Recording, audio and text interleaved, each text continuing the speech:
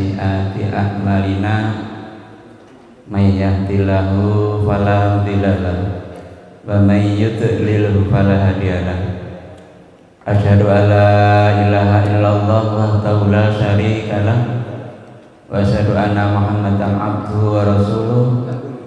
Arsalahu bil haqqi basyiran wa nadhiran bainayati sa'a may wa rasulahu faqad rasada wa mayyasinima fa innahu la dhulu ila ila nafsa wa la yadha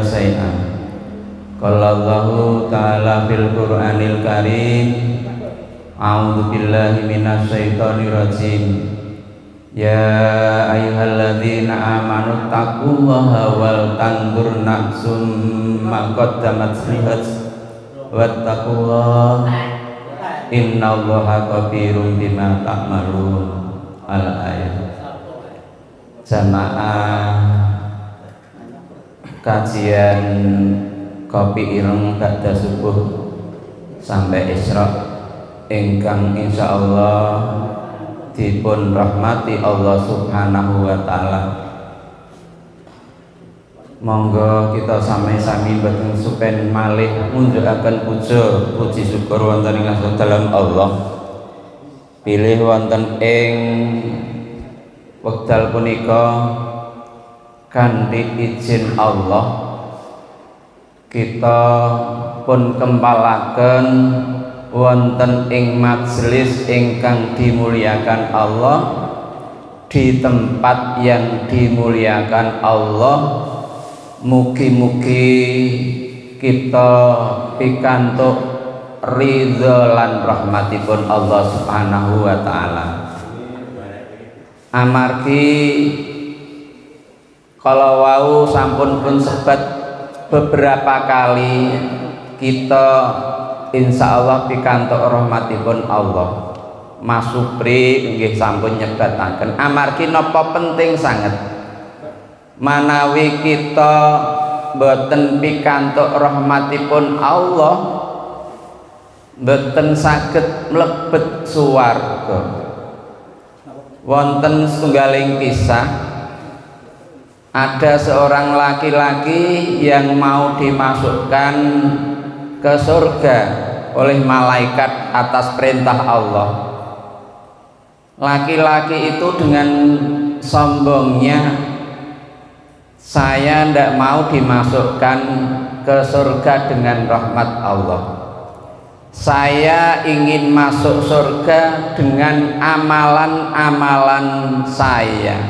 Merasa dirinya amalannya sudah banyak tidak usah rahmat Allah saja saya sudah masuk surga. Orang sombong merasa dirinya sudah banyak apa amalannya. Lalu malaikat lapor pada Allah ini ndak mau dimasukkan ke surga karena rahmat engkau ya Allah. Ya wis kisah timbangan. Allah suruh nimbang hisab. Setelah ditimbang nyatanya kebaikan dengan keburukannya lebih berat keburukannya. Fa'amaman sakulat mawayinu fahuwa fi isatir radiyah wa maman khafat mabayinu fa ummuhu hawiyah lah setelah ditimbang lho kowe iki abot amalan el olone.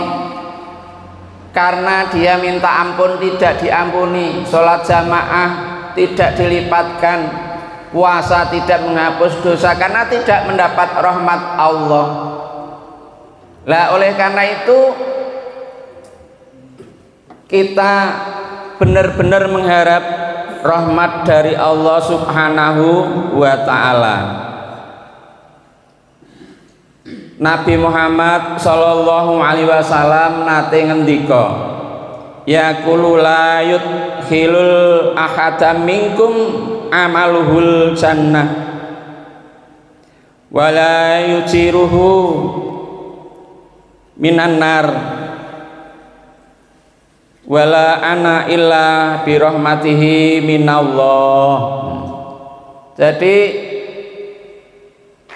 amal kebaikan itu tidak bisa menyebabkan masuk jannah. Dan amal kejelekan tidak bisa masuk menyebabkan masuk neraka termasuk aku aku Rasulullah. Jadi kita tidak bisa masuk surga karena amalannya. Lah terus kenapa kita diwajibkan untuk beramal baik sesuai dengan perintah dan larangannya itulah amalan-amalan yang menyebabkan kita mendapat rahmat dari Allah Subhanahu wa taala.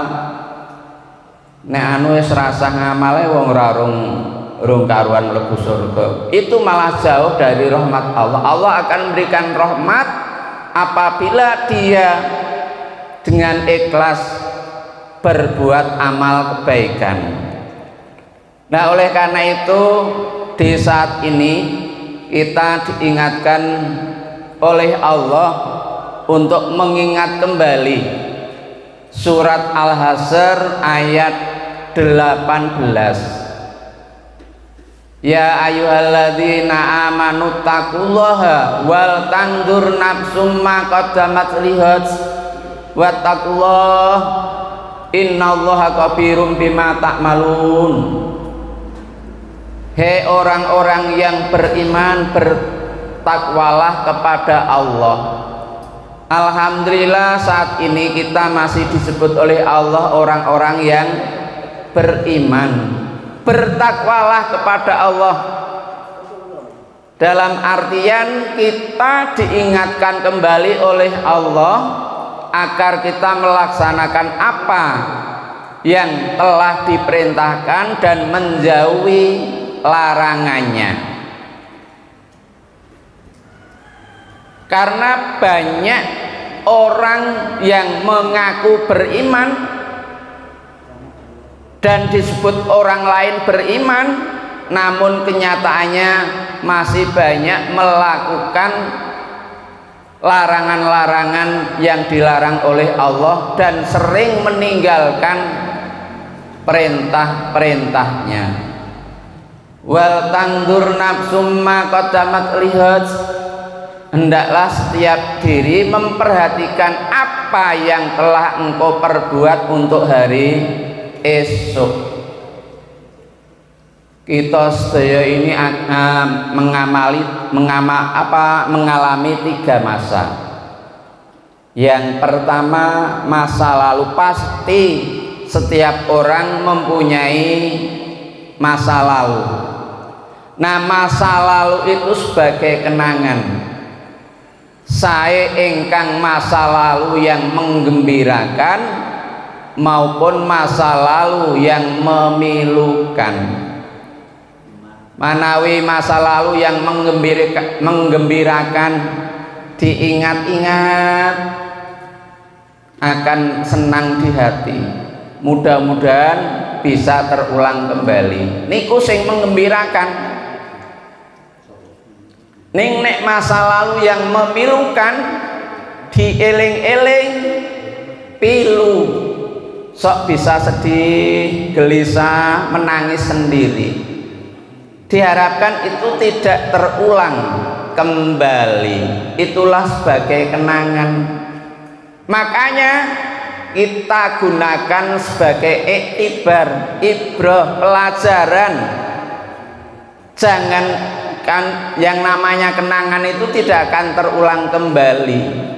Sudah mengenang apa yang telah kita perbuat.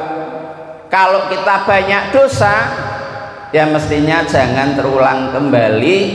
Sehingga pada saat ini itu lebih baik dari masa-masa lalu. Nah kemudian masa sekarang masa sekarang adalah masa kenyataan. Ya ini yang kita alami. Alhamdulillah sekarang ini di majelis yang dimuliakan Allah di kopi ireng ba'da subuh itu keimanan kita paling tinggi. Mungkin nanti kalau sudah keluar dari sini adalah mulai neng dalan iso nonton napa niku cewek sing rada minim klambine. Sudah tergoda. Beda. Nah makanya masa ini kita pertahankan. Jangan sampai kita berbuat yang tidak sesuai dengan perintah Allah Subhanahu wa taala. Lajeng masa yang akan datang itu merupakan harapan. Nah, harapannya yang akan datang itu lebih baik daripada sekarang sehingga iman kita meningkat. Lah makanya kita diserukan oleh Allah wal tangdur nafsu maqaddamat lihat hendaklah setiap diri memperhatikan apa yang telah engkau perbuat untuk hari esok. Lah asbabun nuzul. Ayat menika rikala semanten wonten suku mudhur jauh dari Madinah pinggiran jauh. Pergi ke Madinah akan menemui Nabi. Setelah bertemu dengan Nabi Nabi itu bermuka suram sedih. Kenapa? Karena suku Mudor itu berpakaiannya lusuh, compang camping, serandal saja ndak punya. Kemudian pakai pedang siap perang. Dia di dalam hati kok yo enek ya umatku sing fakire miskine kaya ngene. Lajeng di pun turunaken ayat menika wal tangdur nafsu maqaddamat lihat. Hendaklah setiap diri memperhatikan apa yang telah engkau perbuat untuk hari esok. Lajeng para sahabat ngempalaken dirham real gandum ngumpul kata lajeng Nabi Muhammad bermuka berseri-seri. Itulah harapan untuk hari esok. Menanam menabung berinfak untuk hari esok. Lajeng wattaqullah bertakwalah pada Allah. Dalam satu ayat ada wattaqullah dua kali. Berarti yang kedua itu menekankan pentingnya takwa. Jadi menekankan pentingnya takwa. Diingat kita ini masih hidup berapa lama ndak tahu. Hati-hati. Di jalan banyak duri banyak tantangan banyak masalah hati-hati agar takwa ini dipegang sampai akhir hayat. Memegang keistiqomahan takwa ini. Inilah yang sulit karena masih banyak tantangan masih banyak godaan masih banyak ujian. Nah oleh karena itu kita diingatkan oleh Allah agar kita benar-benar jadi orang yang bertakwa Inna Allah kabirum bima malun sungguhnya Allah maha mengetahui apa yang engkau kerjakan.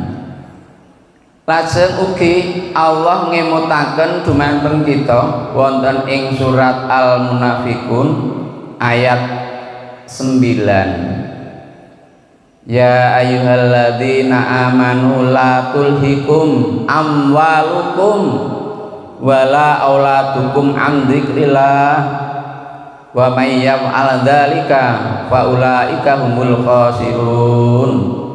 Hei orang-orang yang beriman Janganlah hartamu Anak keturunanmu Menjadikan engkau jauh dari Allah.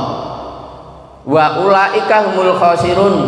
Yang demikian itu termasuk orang-orang yang rugi jadi kalau kita semakin lama semakin makmur semakin kaya semakin banyak harta kok malah jauh dari Allah?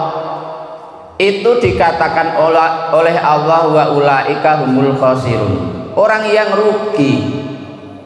Kita mempunyai keturunan mempunyai sahabat, mempunyai teman, mempunyai tetangga, ning kok malah ngedoh kayak kita dari Allah, itu termasuk orang yang rugi. Wa ulaika humul khasirun. Seperti orang-orang munafik, kalau diperintahkan sodakoh, engkau sih wa angfiku mimma royaknakum min qabli ayat dia ahatakumul mautu fayakula rabbi laula akortani ila ajalin qarib fa asaddaqa wa akum minas solihin nek kon infak wong munafiki oga-ogan wegah.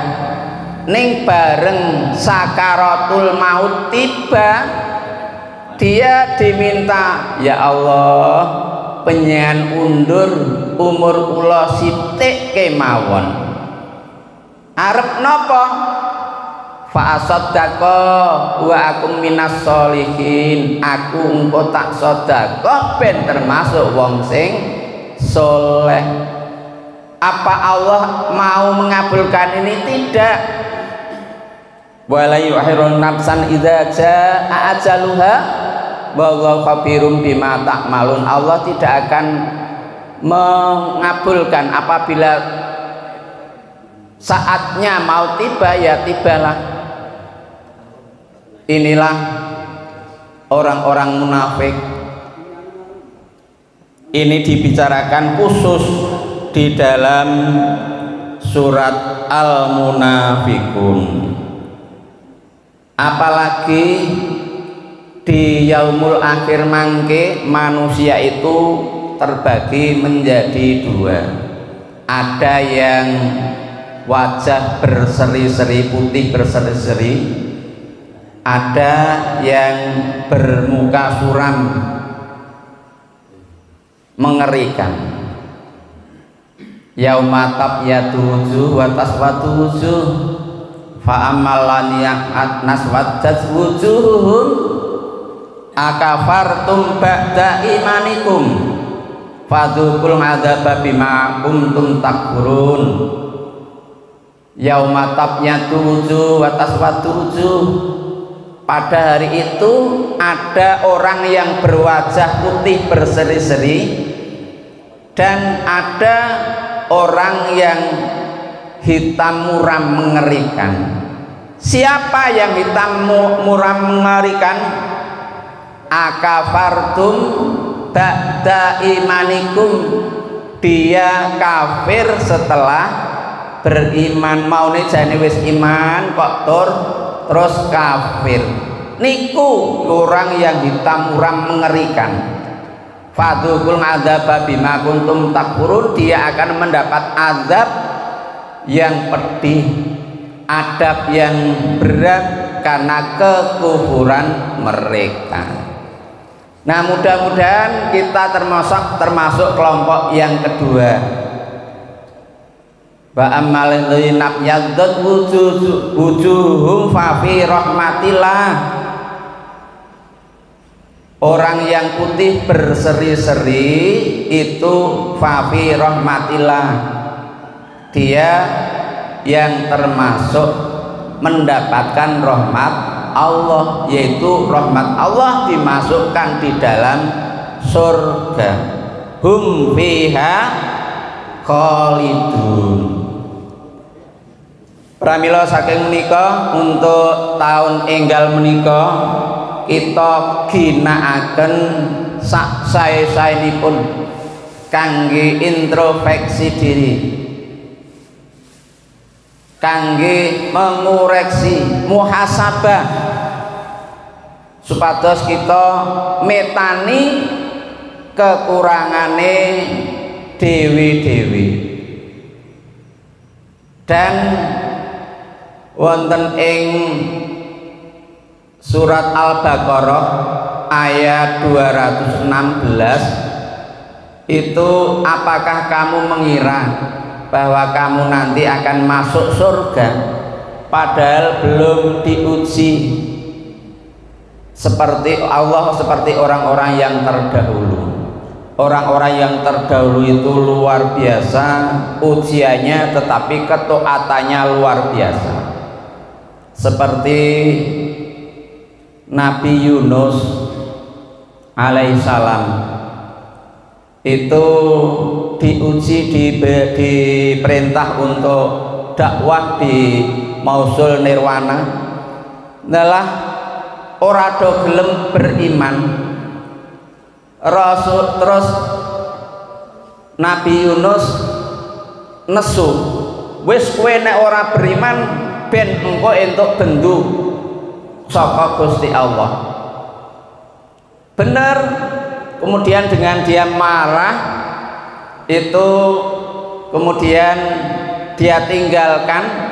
Setelah dia tinggalkan benar masyarakat nirwana itu mendapatkan musibah yang luar biasa. Baru dia percaya oh benar baik Nabi Yunus tadi kita akan mendapat tapi Allah mengingatkan kamu tidak diperintahkan hijrah meninggalkan umat itu kok kamu tinggalkan. Kemudian masuk kemudian melarikan diri bersama orang-orang naik kapal. Ini di kapal kelebihan muatan. Setelah kelebihan muatan diundi. Siapa yang nanti kena undian akan dimasukkan ke dalam laut kebetulan diundi sampai tiga kali kena Nabi Yunus. Terus dia enggan melemparkan karena dia tahu dia dengan sendirinya masuk ke dalam lautan kemudian ditelan oleh ikan paus. Dibawa ke dasar laut. Di situ dia mengalami kegelapan malam kegelapan dalam perut ikan kegelapan di dalam napa itu dasar laut. Tapi dia selalu zikir pada Allah. Allah ilaha illa anta subhanaka anta subhanaka. Ini kuntu minadzalimin ya Allah tidak ada Tuhan yang disembah kecuali engkau. Kemudian Allah menerima tobatnya kemudian dikeluarkan ke daratan. Ini kisah ini bisa dicari di surat As-Saffat atau Al-Anbiya. Itu ada kisah Nabi Yunus. Banyak sekali kisah-kisah yang lain. Nah ini ada suatu kisah yang cerita. Ada seorang pelacur yang lokalisasinya di rusaknya dibubarke setelah itu dia diwawancarai. Diwawancarai gimana kamu setelah dibubarkan lokalisasi dia jawab apa kulo praktek mandiri? Membuat praktek mandiri. Terus malah ngeten agamamu apa? Islam. Ya sholat ya sholat. Kira-kira nek salat ndongane muga-muga aku laris itu. Nah itu sing salah kaprah. Nyatanya dia itu mengatakan saya itu hampir tergoda saya disuruh buat kerjaan keluar dari pekerjaan saya. Padahal pekerjaan saya ini alhamdulillah berkah. Dapat buat rumah dapat nyekolahkan anak lo ngono-ngono kok ya berkah. Berkah itu tidak akan itu bukan berkah salah kaprah. Berkah itu akan membawa ketaatan kepada Allah Subhanahu wa taala nek penjenengan dikai rezeki melimpah kok malah ora tambah itu bukan namanya berkah. Lajeng ada lagi suatu kisah. Ada kiai di Lasem Jepara itu mau diundang pengajian di eh, uh, di Rembang di Rembang mau pengajian di Jepara. Suatu saat ya mbak pun berhenti di lampu merah. Ustadz itu, kiai itu membuka sorbannya, membuka kopiahnya terus melihat di luar. Setelah melihat di luar eh bae nggon-nggon pos-pos kupu-kupu malam. Lah ada satu yang menghampiri. Ngampiri oh saya mau ikut boleh enggak oh boleh boleh. Setelah boleh naik segera ditutup berjalan. Terus kupu-kupu malam itu menawarkan om ini mau ke mana? Saya bisa menemani sampai pagi. Lah kiai ini le Arab jawab ya piye? Akhirnya dia pakai sorban pakai kopiah. Setelah lihat itu kupu-kupu malam baik kiai lagi salah mangsa. Terus dia itu apa? Dia itu ini mau pengajian. Kamu ikut ya mboten sah kula medun mriki mawon. Takut. Setelah itu harus ikut. Lah kula mboten ngangge kerudung niku. Ya engko tak silih kene kono. Setelah itu sampai ke sana. Benar setelah sampai ke di tempatnya itu Pak Kiai tadi ngampiri ibu-ibu Bu tolong nyun ngampil kerudung ibu itu kesesom mboten nggo kerudung.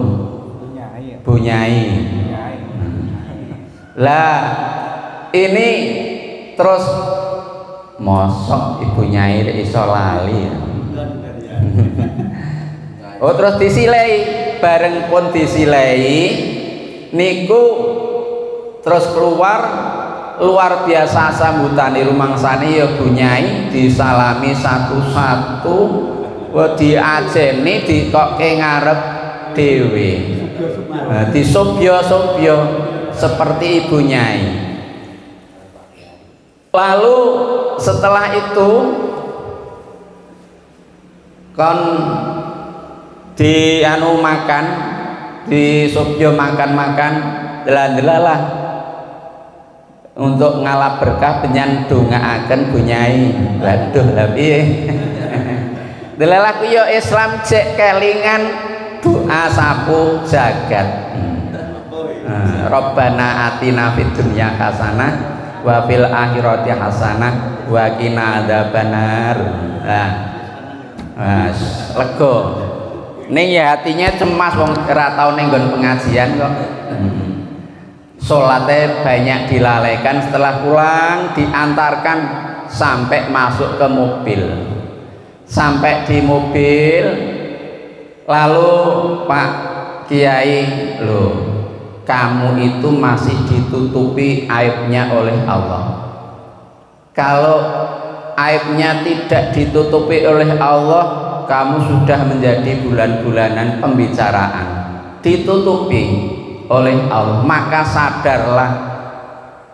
Nah di sinilah pun menangis baru tobat sadar. Makanya jangan sampai kita itu membuka aib orang lain. Allah pun menutupi aib kita kok. Apalagi kalau Allah membukakan aib kita ar pengajian isin karena banyak dosa banyak kemaksiatan pramila saking menika inilah diambil pelajaran cerita ini cerita entah fiktif atau benar. Yang penting kita ambil hikmah bahwa yang pertama kita tidak boleh menghakimi orang lain memponis orang lain karena rumangsane tahu dalamnya hati kadang-kadang Allah kayak konco kuwi cilik aku ngerti ya jeroane. Belum tentu semuanya. Kalau Allah membukakan aib nanti kena. Ini makanya sedalam-dalamnya laut dapat diduga dapat dikira dapat diukur oleh manusia tetapi sedalam-dalamnya hati siapa yang tahu? Kecuali Allah subhanahu wa ta'ala. Nah yang menjadi masalah itu kan manusia itu sok tahu hatinya orang lain. Wong suami istri saja ada yang tidak diketahui dalam hatinya kok. Padahal mendino amor. Maka sering terjadi kesalahpahaman antara suami istri karena tidak mengetahui isi hatinya. Yang kedua agar kita mengambil hikmah dari itu tidak membuka aib orang lain termasuk suami termasuk istri termasuk anak itu larangan untuk membuka aib orang lain kejelekan orang lain. Kecuali ada yang diperbolehkan. Misalnya ada orang yang mau lamar takok iki kelakuane calon mantan kipi silahkan diberikan Eh, keterangan apa adanya sesuai dengan fakta. Atau manawi penjenengan menjadi saksi di persidangan.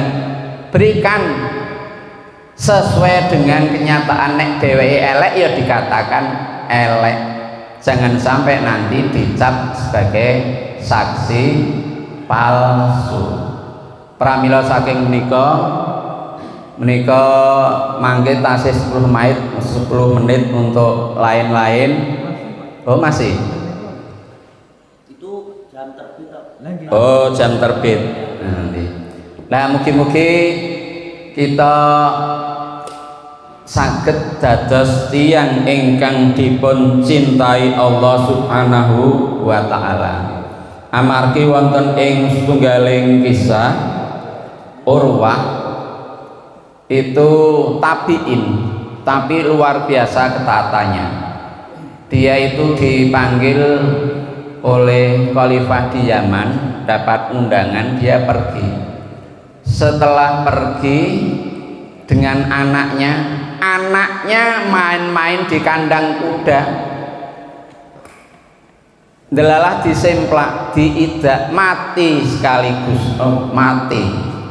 Itu dia terima dengan ikhlas ini adalah kehendak Allah ini adalah titipan Allah. Allah sudah mengambilnya.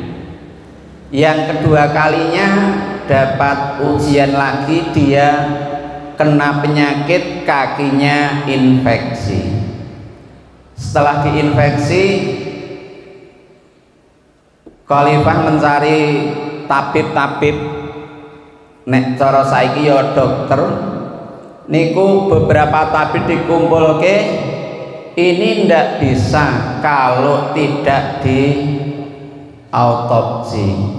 Tidak di apun tak amputansi ya ampun. Di amputansi dipotong. Lalu nek demben dereng enten obat bius. Nah Urwah itu suruh minum komer ben memabukkan gue nek dipotong ben ora krasa setelah itu tidak mau saya minum komer yang diharamkan oleh Allah karena hanya meredakan rasa sakit. Wis nanti penyan potong setelah saya melakukan zikir saya melakukan sholat. Setelah melakukan sholat dipotong kakinya itu setelah selesai dia mencari kakinya mana kaki saya.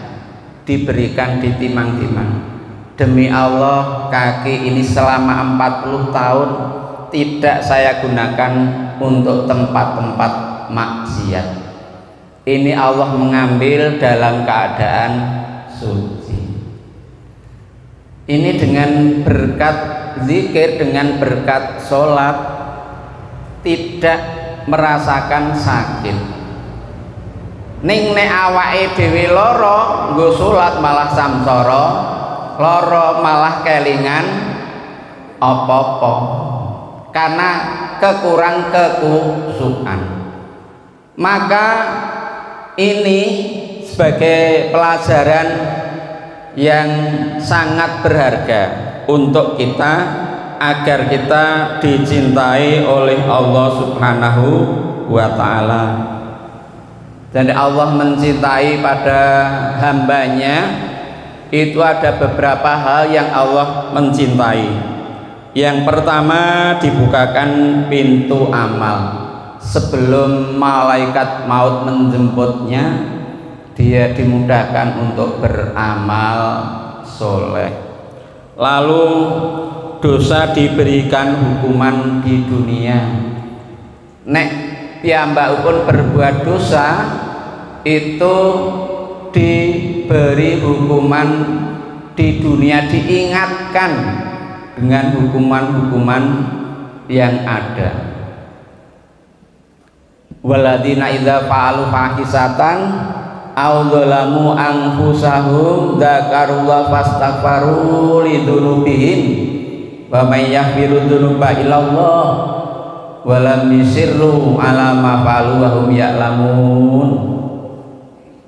Orang yang akan berbuat fasik berbuat dolim waladina idza fa'al fahisatan aw dzalamu anfusahum zakarullah lalu ingat kepada Allah fastaghfaru lidzunubihim ya pun minta ampun pada Allah. Fastaghfiru li dzunubihim. Wa may yaghfiru dzunuba illallah. Siapa lagi yang mengampuni kecuali Allah? Walam yusiru ala ma fa'alu wa hum ya'lamun. Dia tidak akan berbuat zalim tidak akan berbuat fasik. Itu orang yang diberikan keimanan oleh Allah Subhanahu wa taala. Dielingke nek arep berbuat dolim arep berbuat fasih ingat kepada Allah. Kalaupun sudah terlanjur Allah akan memberikan hukuman di dunia. Peringatan Nengge sampun ngantos kita minta hukuman oleh Allah. Ya Allah penyian hukum kula wonten ing alam donya supados kula mengke ringan uh, siksane wonten akhirat. Mboten tidak boleh. Karena Allah mencintai hambanya itu Allah tidak menghendaki siksaan di akhirat tetapi siksaan di dunia. Ning nek njaluk ngono belum tentu tahan. Kadang-kadang dikai loro pirang-pirang tahun aku ke loro dosaku apa? Salahku apa? Gusti Allah kok kei ganjaran kaya ngene ada yang seperti itu. Malah sampai-sampai ada yang lalu karena penyakitnya bertahun-tahun. Ini karena tidak tahan siksaan yang ada di dunia ningku malah samsoyor kosok siksaan di akhirat luar biasa siksaan di akhirat mangke. Lalu Allah akan menguji hambanya yang dicintai. Allah menguji hambanya itu dengan ujian sakit dengan ujian kemiskinan dengan ujiannya keluarganya bermasalah diuji oleh Allah seberapa jauh sabarannya. Begitu pula Allah itu menguji tidak hanya yang susah-susah yang kekayaan jabatan itu juga ujian oleh Allah subhanahu wa ta'ala. Kalau penjenengan lihat Korun kenal tak Korun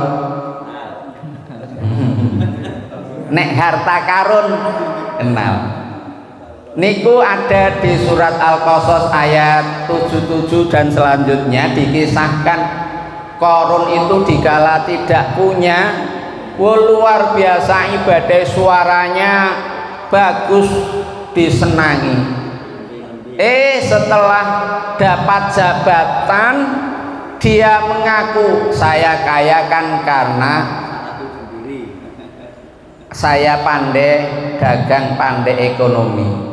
Saya dapat jabatan kan karena kepandian ilmu saya. Ini merasa dirinya. Lah terus dia itu mengadakan karnaval. Mamer ke bondoni di kalayak rame dalam suatu kisah itu kunci ini dipikul wong petang puluh isih kabotan kunci lawangi. Lah orang-orang yang melihat aku kok ya ora kaya korun ya? Wong kok ya bejane kaya ngono? Di kekayaan luar biasa di jabatan luar biasa. Ning korun itu lupa dengan orang miskin lupa dengan kanan kirinya sama sekali tidak karena mengaku dia itu adalah milik dia sendiri. Tapi orang yang beriman celaka engkau korun kekayaan seperti itu justru akan menyiksa kamu. Dalam ayat itu dikisahkan korun beserta hartanya ditenggelamkan di dalam perut bumi maka wong-wong saiki nek nemu harta di dalam tanah dinamakan harta karun. Itu kisahnya ada di surat Al-Qasas ayat 77 dan selanjutnya dikisahkan. Lah bar wong-wong mau do sadar wo celaka korun baik bener petunjuke Allah Subhanahu wa taala beserta orang-orang yang beriman Lalu orang yang dicintai Allah itu diberi kesabaran. Karena banyak orang yang mengatakan di dunia ini saya itu pernah disambati aku bola bali kena masalah ngene iki. Lah ning poyo terus kuat sabar ki mestine kak yo enek Watesi sabar itu ada batasnya. Tapi Allah mengatakan sabar itu tidak ada batasnya. Kecuali maut menjemput Dalam keadaan apa pun Dia sabar. Dalam keadaan sakit Sabar. Dengan kesabaran itu akan Menggugurkan dosa Dosanya Dalam keadaan kaya raya dia bersyukur. Dalam keadaan susah dia sabar. Nah oleh karena itu mudah-mudahan kita selalu dipilih oleh Allah orang yang bisa melaksanakan syariat Allah yang dicintai oleh Allah. Famayuridillahu ayyahdiyahu yasroh satrahu lil islam. Barang siapa yang dikendaki oleh Allah diluaskan dadanya diberikan petunjuk untuk melaksanakan Islam. Alhamdulillah kita diberikan hidayah oleh Allah subhanahu wa ta'ala. Mudah-mudahan kita istiqomah dalam memegang keimanan ketakwaan ngantos akhir hayat. Wala tamutunna illa wa antum muslimun. Tidak mati melainkan mati dalam keadaan Islam. Mudah-mudahan kita nanti semuanya mati dengan husnul khotimah amin ya rabbal alamin. Kirang langkungipun nyuwun pangapunten bila taufik wal hidayah. Assalamualaikum warahmatullahi wabarakatuh.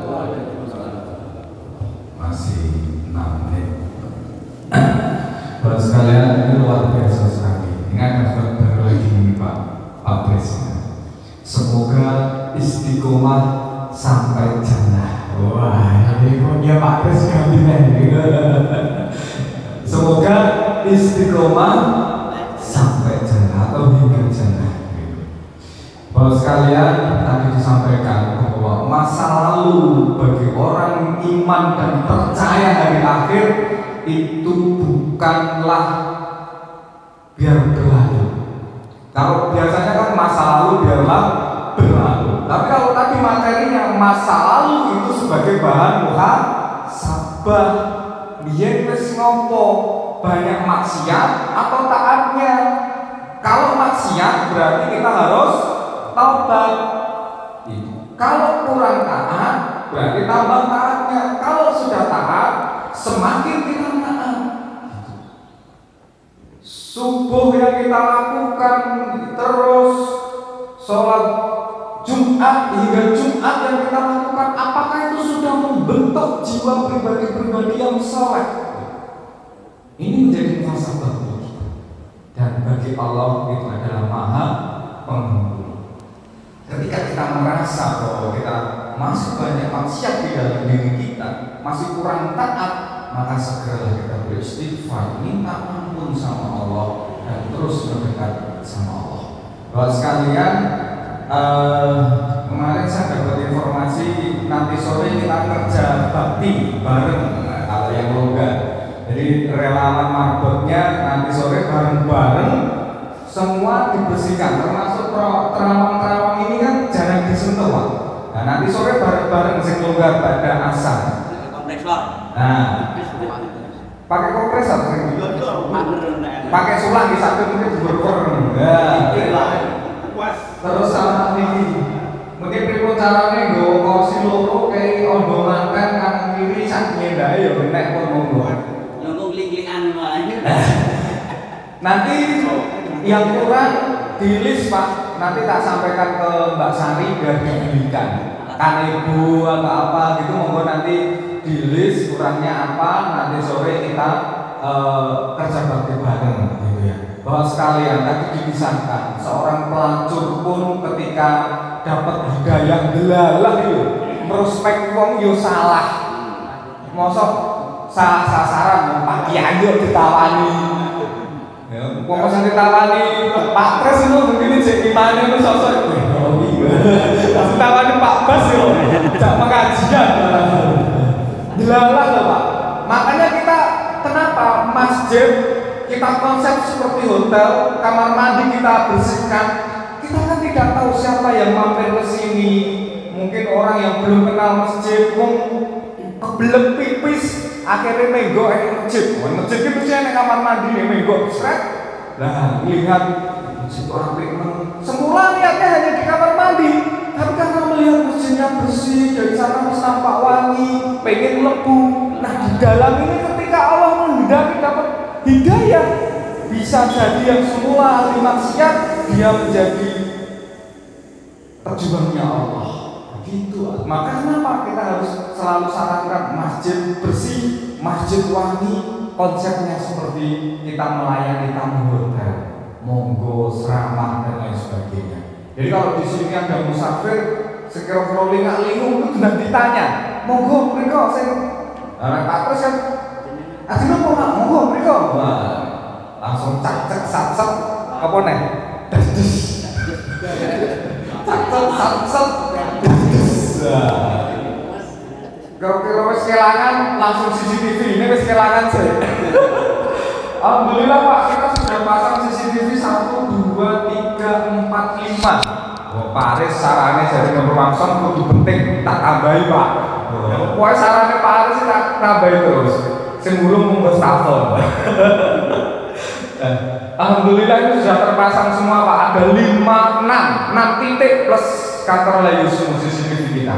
Jadi saya umumkan eh, bahwa masjid ini diawasi oleh CCTV selama 24 jam non-stop. Ya, rekamannya ada di handphone saya, di drive ya Pak, bukan di, di HP tapi sudah di awan-awan, di langit penyimpanannya dan juga di memori di setiap ini ada penyimpanannya semuanya. Nah, dan itu bisa kami kontrol. Saya berposisi di mana pun saya bisa melihat oh Pak Ahmad dia wis kosong atau enggak saya bisa melihat Pak. Karena saya bisa review. Oh tak putar lagi dari, dari jam 11 sampai jam 12 itu masjid aktivitasnya apa saya bisa melihat dari mana pun kapan pun. Nah sudah kita uji coba tadi malam ya. Sudah selesai tadi malam. Kalau kemarin-kemarin ini dua tiga Ngoten Bapak sekalian terima kasih atas semua atensinya. Semoga yang ada di sini senantiasa bisa istiqomah sampai jannah. Sekali lagi, semoga yang ada di sini bisa istiqomah sampai jannah. Amin. Ya Rabbal Alamin. Besok pagi untuk akad pagi yang mengisi adalah beliau Ustadz Taufikur Rahman, MPD. Setengah tujuh tet tilawah harus mulai. Karena kita berharap jam 8 kurang seperempat konsepnya nanti sudah selesai. Sehingga ketika kita mau buat kuis untuk voucher itu masih ada waktu. Karena jam 8 itu kalau nggak selesai ya Nanti ya, maka sekali lagi hari ini Pak Kres ulang tahun mau melapir ayam kremes sama soto habis ini tunggu kalau yang sudah batal kalau enggak monggo langsung isro kemudian silakan makannya di mana Pak Kres di depan ya makanya sudah disiapkan di depan. Nanti kita makan makan dulu. Bukan soal makan apa tapi makan bersama siapa. Insya Allah bersama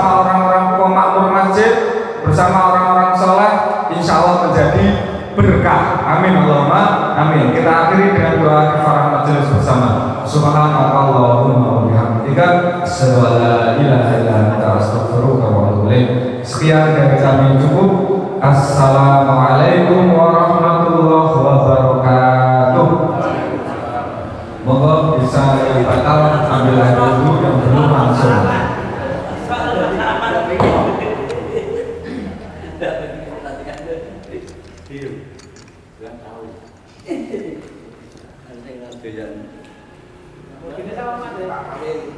Wih, Pak Kiai.